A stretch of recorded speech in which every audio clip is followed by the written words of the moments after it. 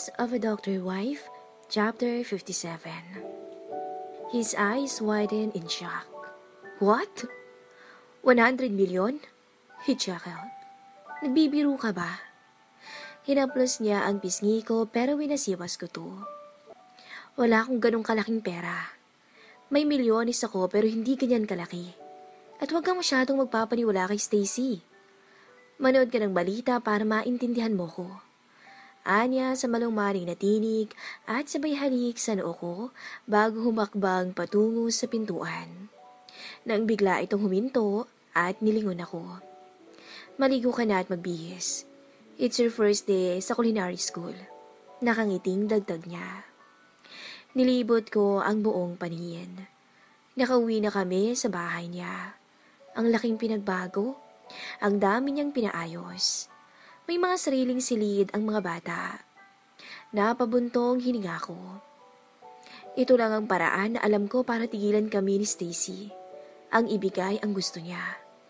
Bakit hindi mo lang ibigay ang pera na gusto niya? Para matapos ng problema natin. Hanggang nandyan ang babaeng yan, hindi niya tayo patatahimikin. Maraming paraan para tumahimik siya, Zaira. Hindi ako magsasakripisyo ng pera na para sa pamilya ko. Anya sa matigas na tono. Why not? Giit ko. Kung para sa ikakatahimik natin, Zane, ibigay mo na. Makinig ka sa akin, darling. Putol niya sa sasabihin ko. Ayoko na ng ganitong buhay. Magulo at parang hindi ko makuha kung paano maging... I pause. May isang paraan pa para mapapayag ko siya sa gusto ko. Kahit magalit pa siya sa akin. Please, gusto ko ng annulment. Annulment? Manghang usal nito. Mabilis niyang hinakbang ang pagitan namin at tinitigan ako na tila ba wala ako sa katinoan ng isip. You're kidding me, right? Gusto ko magpa-anal, Zane. Noong kaming tatlo lang ng mga bata, masaya kami. Walang nanggugulo at walang problema. Ang gulo ng buhay ko at nadadamay pa kami ng mga bata. I bit my lower lip. Napatiim bagang to, and he roughly took my arms. Kasasabi ko lang na wala akong pera para sa hinaing ni Stacy. Sinasabi mo bang ibigay ko na lang na parang hindi ko pinag-iisipan? He demanded angrily. Hindi ko isasakripisyo ang perang pinaghirapan ko, Zaira. Pues, ibigay mo ang annulment na gusto ko para makaliw kami sa'yo at hindi na kami madamay sa problema mo. Mariin kong sabi. Puro kasakit ng loob. Wala ka nang binigay sa akin, kundi puro sakit ng ulo at sakit ng damdamin. Tinitigan niya ako saglit at maras niyang hinawakan ang braso ko. No, damn it. Halos bumaon ang mga daliri nito sa braso ko. Ikaw ang inaasahan kong iintindi sa akin. How could you? Hindi mo lang alam ang problema ko, Zaira. Ang galit at kalituhan nito ay halos magpabiyak na ng puso ko. Ang laki ng problema ko. Kung alam mo lang, pero inuuna ko pa rin kayo. Anya sa mahina na boses at binitawan ako. He sighed heavily. Napauputo sa gilid ng kama. Ang mga mata nito ay malalim at nakatitig sa kawalan. Pinalipas niya ang ilang segundo bago muling nagsalita. May posibilidad na magsara ang hospital ko, Zaira, kapag hindi ko na ipanalo ang kaso. Panimula niya at tumitig siya sa akin. Nanlaki ang mga mata kong hindi makapaniwala sa mga narinig. Hindi ko inaasahan may problema pala siyang kinakaharap at wala man lang siyang sinasabi sa akin. Kung umakto kasi siya sa harapan ko, parang normal lang ang lahat. I'm sorry, Zane. Lumuod ako sa harapan niya at hinaplos ko ang pisi niya. Tungkol sa pagkawala ng anak ni Elsa. Sa ospital ko to nangyari. Umiling siya at bago ay humugot ng malalim na paghinga. Inihilamos ang kamay sa mukha. Suddenly, he looked like 10 years old. At bigla akong nakadama ng guilt dahil sa ginawa kong pananakot sa kanya. I'm sorry, Zane. Naging makasarili ako. Mahina akong sambit. Baby, muli kong tanong. He nodded. Akala ko na pag-usapan na naming maayos pero hindi pa pala. Muling pinabuksan ng asawa ni Elsa ang pangyayaring yun. Sa akin lahat punta ng sisi. Dala kong may-ari ng ospital. Natuon ang panahon at atensyon ko sa paghahanap sa'yo noon. Kaya napabayaan ko ang kaso ng anak niya. Si Tita Farah lahat ang nagtatakip sa akin. Dennis smiled bitterly. Kaya kong i-give up ang ospital at magtayo ng maliit na klinika at ipagpatuloy ang propesyon. Pero ang hindi ko kaya, maraming tao ang mawawala ng trabaho.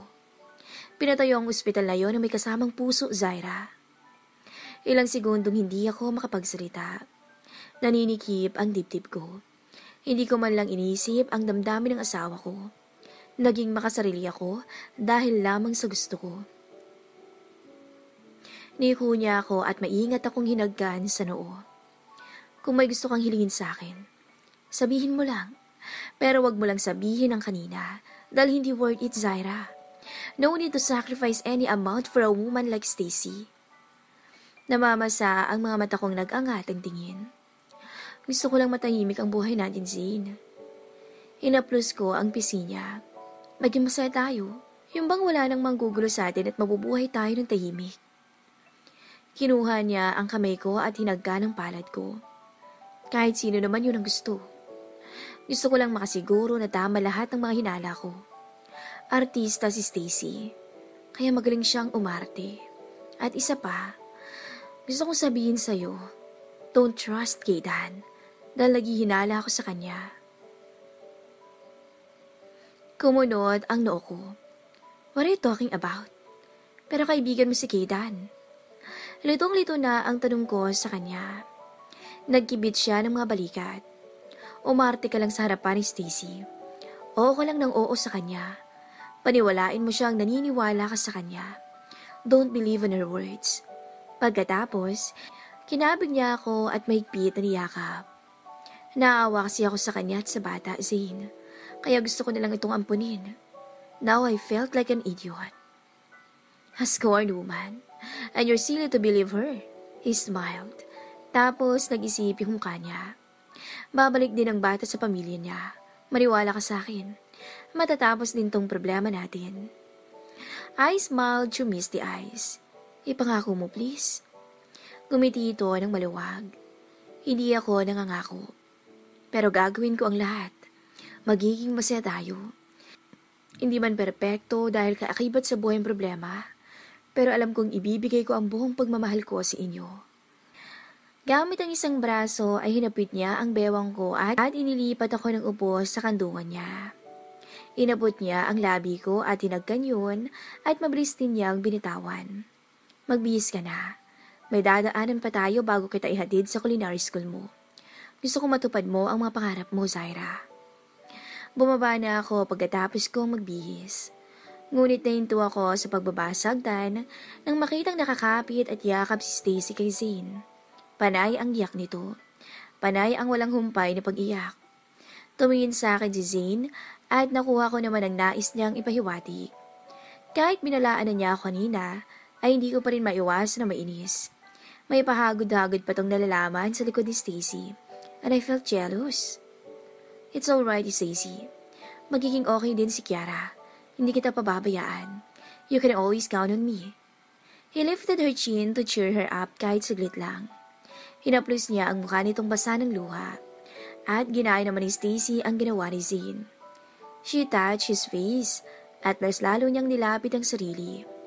At bago pa magawa ni Stacy ang gusto na halikan sa labi si Zane, ay iniiwas ito ng asawa ko.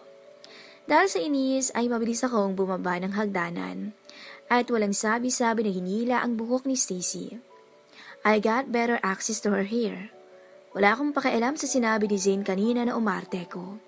Putik, hindi ko magawang makipagplastikan sa ganitong sitwasyon at hindi ko to pwedeng ipagwalang bahala na lang. Kinaladkad ko siya hawak ang kanyang buhok palabas ng pamamahay ng asawa ko. Asawa ako, kaya pamamahay ko na rin to. Kaya karapatan kong magpalayas ng peste na pwedeng sumira sa loob ng pamamahay ko. Sa pangiinsulto niya sa akin noon, kulang na kulang pa yun. Siguro sa pagkabigla, hindi rin napigilan ni Zane ang ginawa ko kay Stacy. Sumusobra ka na sa kaartehan mong babae ka. Napupuno na ako sa'yo. Pati ba naman dito sa loob ng pamamahay ko, pupunta-punta ka at mag-iinarte. Sigaw ko sa kanya at pabalibag ko siyang binitawan at umando sa ito sa floor. Huwag na huwag kang tutungtong ulit dito sa pamamahay ko. Dahil wala kang karapatan. Gigil na gigil kong sigaw sa kanya. Mabilis akong binuhat ni Zane palayo kay Stacy. Dahil susugurin ko pa sana to at bala kong sakyan at pagsasampalin. Iyak ng iyak si Stacy. Dinaluhan to ni Manang Esther na nagulat din sa ginawa ko. I can't believe this. You are marrying a horrible woman, Zane. Tumayo ito sa tulong ni Manang Esther. At napansin ko ang pagyuko niya at pasimpleng umiti. Inayos niya ang sarili upang ibalik ang composure. Acting like normal. Peachy. Wika ni Stacy ngunit nakangiti. Halatang nakatago ang inis. Gusto niyang magmukhang matino sa harap ng asawa ko. Para sa akin magalit si Zane. And she think she can butter act to my husband?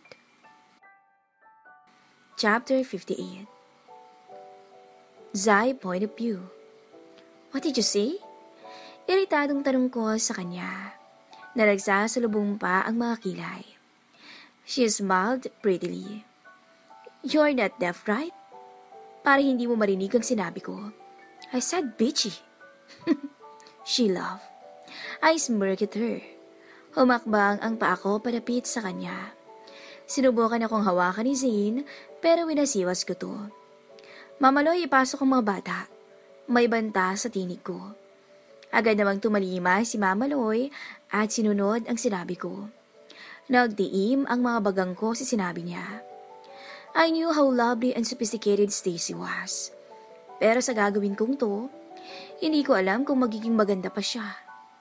Nakakuyom ang mga kamao ko sa tagiliran. Pasimple kong binuklat ang mga palad ko at saglit ko tong tinitikan. I smiled cheekily.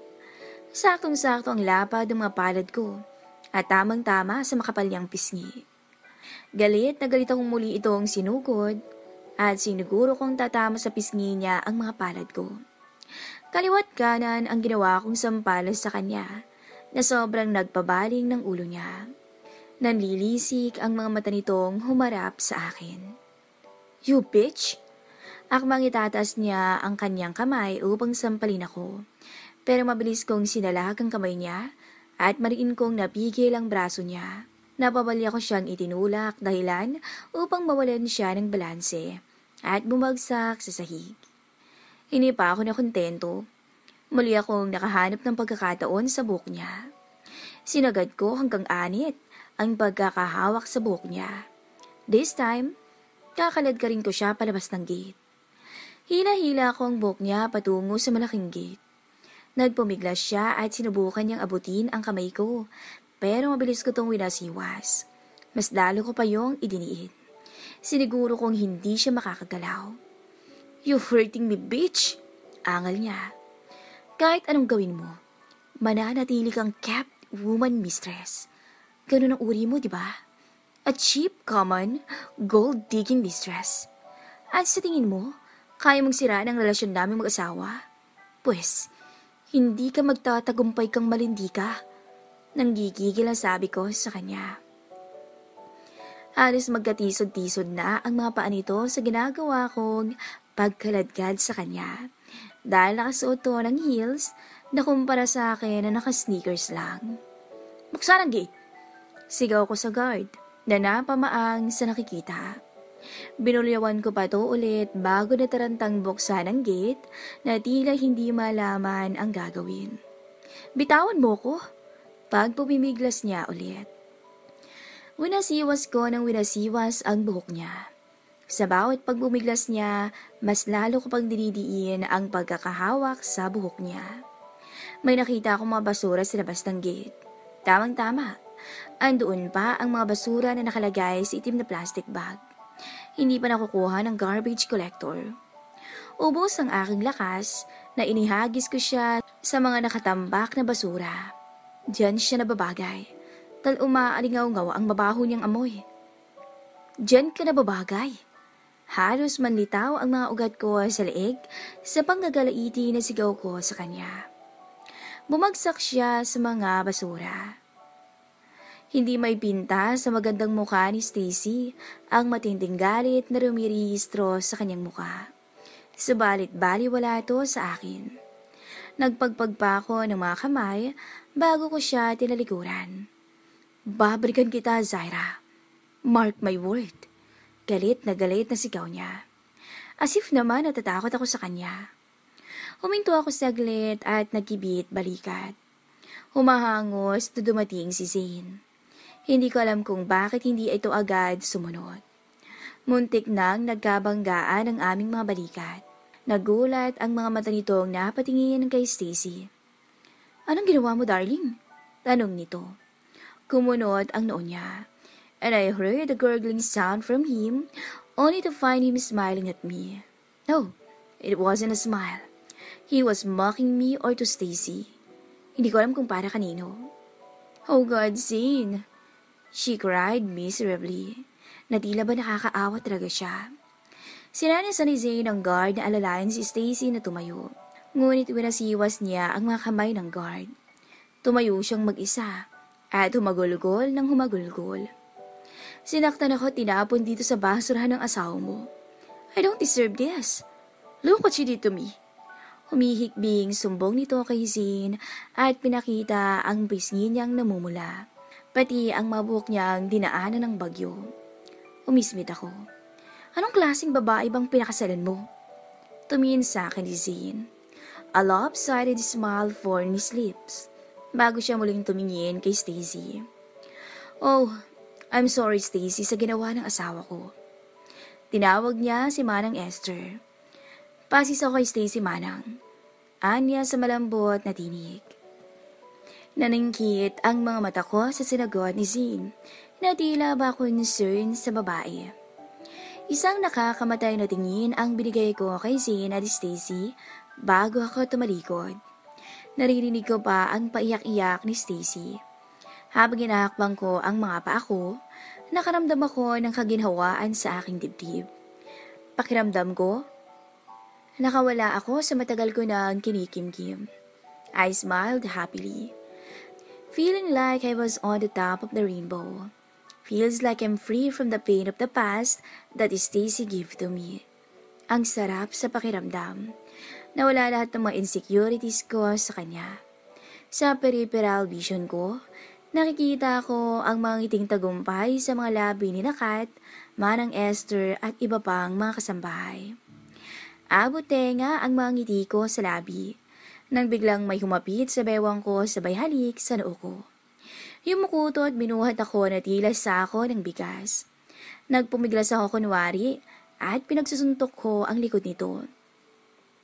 Ang sabi ko, umarte ka sa harapan niya. Hindi ko sinabing malakit ka. May lahi ka bang Amazon, darling? Pagalit niyang wika sa akin, pero andoon ang lambing sa mga tinig niya. Di ba kapag nagsiselos ang urig, nananakit? I hiss into his ears, and I bit his lower earlobe. Tumawa siya ng malakas. Napasingap ako nang paluin niya ako sa puwet na tila isang bata. Pasan-pasan niya ako patungo sa sasakyan. Kinagat ko ulit ang tenga niya at muli niya akong pinalo sa puwet habang ang isang kamay niya ay binubuksan ng pintuan. You're weak, angal ko. And you're sexy, he countered, grinning at me. Pagkabukas ng pinto, ay maingat niya akong binaba sa upuan. Isang mabilis ang halik ang binigay niya sa labi ko bago sinara ang pinto. Pagkatapos ay umikot na siya sa driver's seat.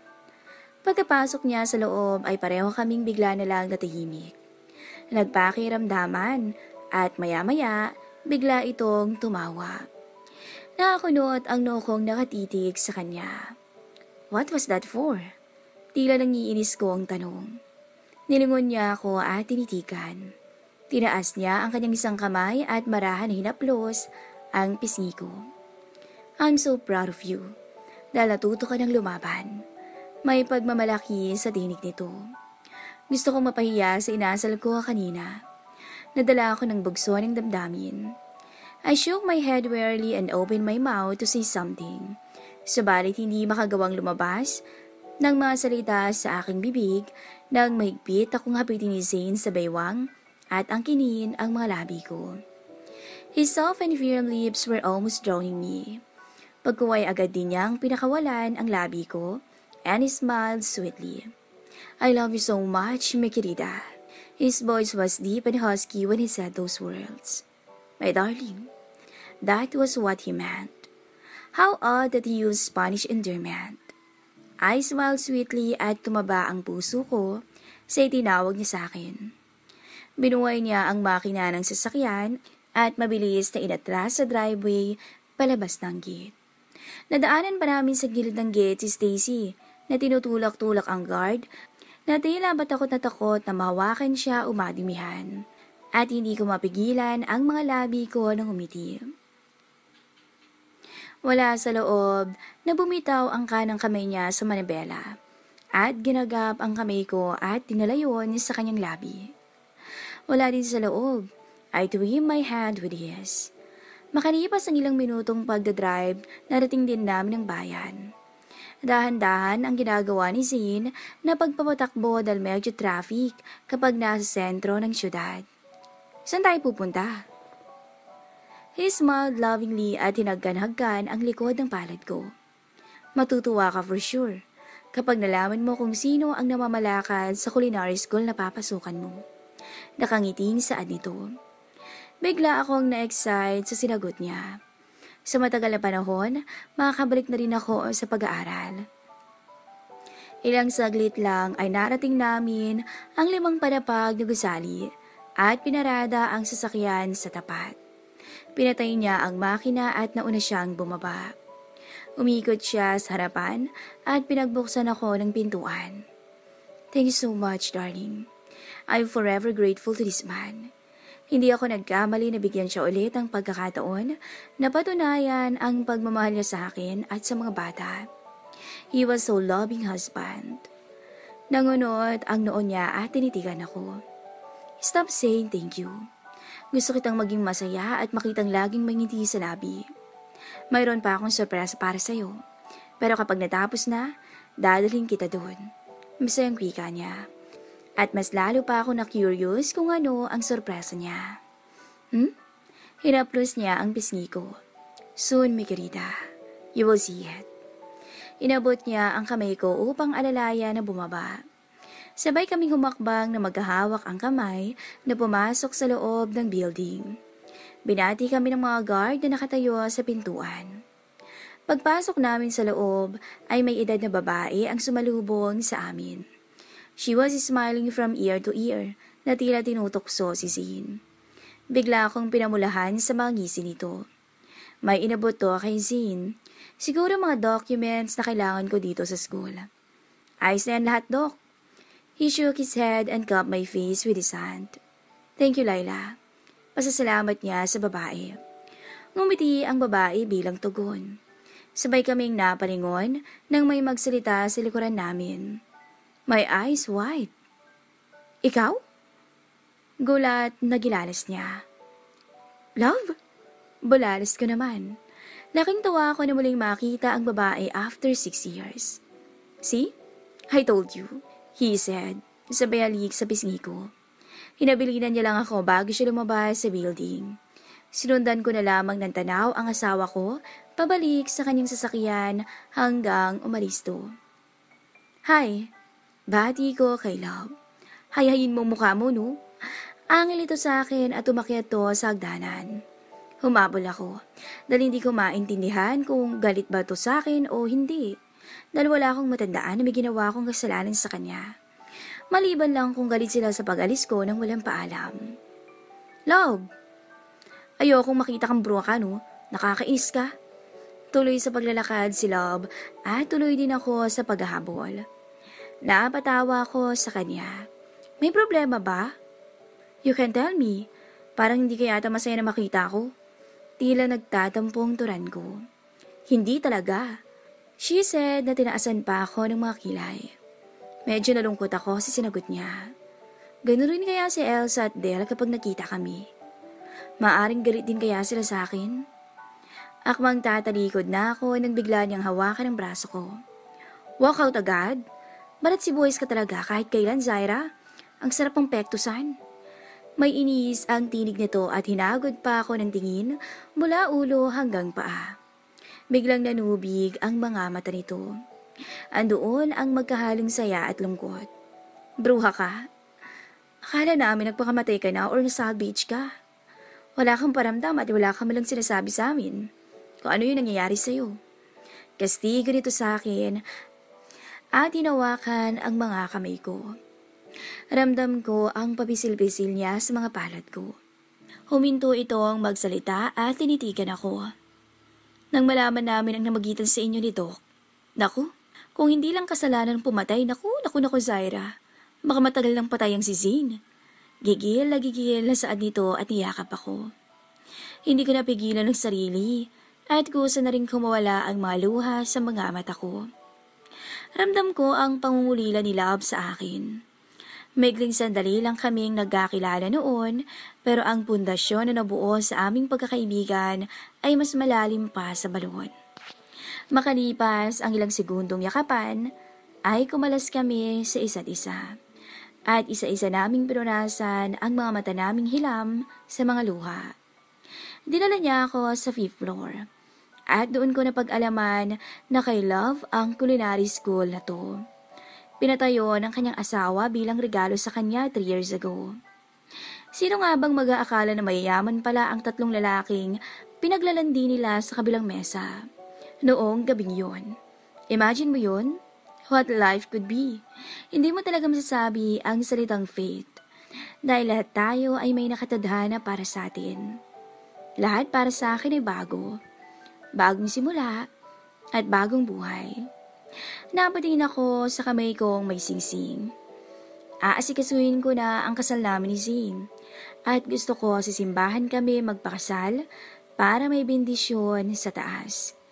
Iba pa rin ang kasal sa simbahan dahil naniniwala akong napapatibay pa nito lalo ang pagsasama ng dalawang taong nagmamahalan. Biglang nag-ring ang cellphone ni Love. Nasa airport na kayo? Bulalas nito.